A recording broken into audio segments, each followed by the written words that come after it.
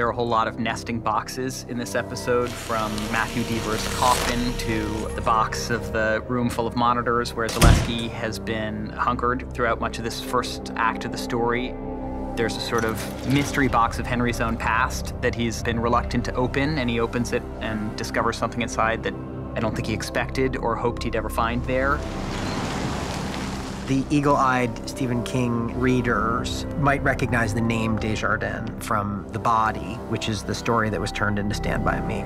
We were very interested in seeing a little bit of what had become of that family. Your brother was Vince Desjardins?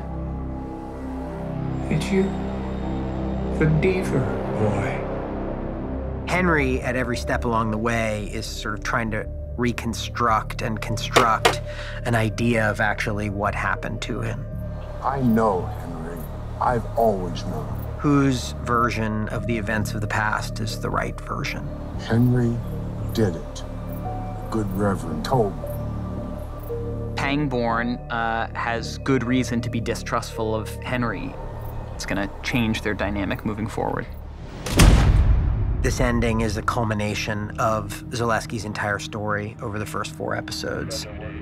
This nightmare ending is the scene of epic carnage. This good-hearted, wonderful guy who tries to do the right thing in calling Henry in the first place now is brought by either circumstance or some force that he can't control to try to cleanse this prison in the worst possible way we take really seriously questions about how we depict violence.